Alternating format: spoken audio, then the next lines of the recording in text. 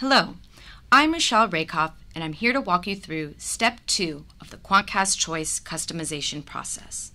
This step is where you tailor the look and feel the consumer will see on your site. You can leave the default values for all fields or enter your own value to customize branding.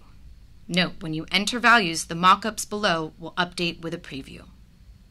If you don't know the hex value, you can always Google hex color and find a helpful tool that converts regular RGB values for you.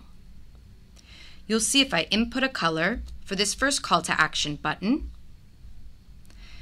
the preview updates and reflects how the final product will look.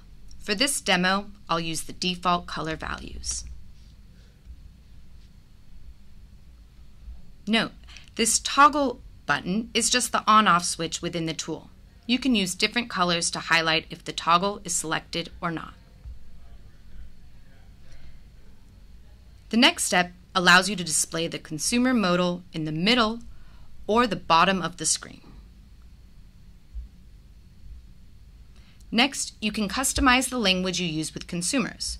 We've provided some templated language that are available for this initial screen.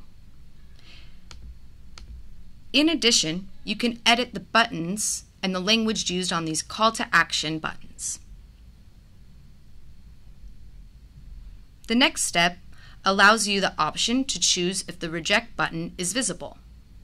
We're giving you the option to decide based on what is right for your company. The next screen is the Privacy Settings section.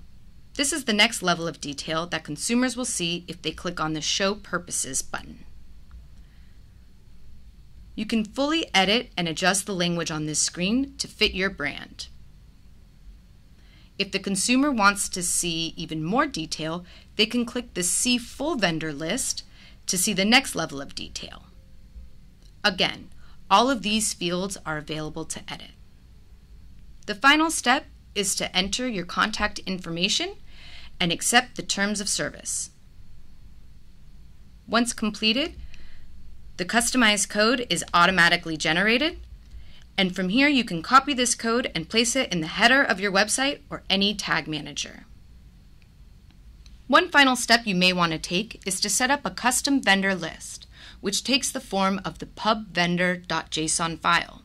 For more details on how to set that up, please look for the technical implementation guide on quantcast.com/help. If you have questions that aren't already covered in our Help Center documentation, please contact us at support at quantcast.com. Thank you.